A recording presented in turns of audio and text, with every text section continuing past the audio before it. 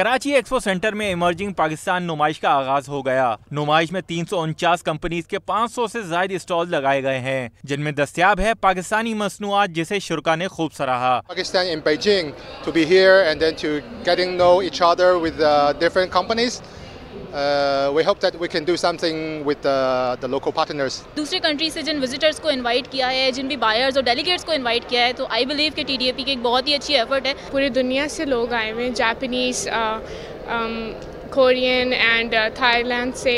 So I think बहुत फ़ायदा होगा। नुमाइश में पिचासी ममालिक के 800 तजारत पेशा अफराद समेत मंदोबीन भी शिरकत कर रहे हैं जबकि गैर मुल्की मंदोबीन पाकिस्तानी खानों की तारीफ़ किए बगैर न रह सके। Kima masala, and shawarma. Yeah, I can you know do it, do this all day.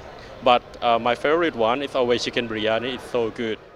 नुमाइश 12 नवंबर तक कराची एक्सपो सेंटर में जारी रहेगी कैमरामैन काशिफ शाह के साथ वलीद अहमद 24 न्यूज़ कराची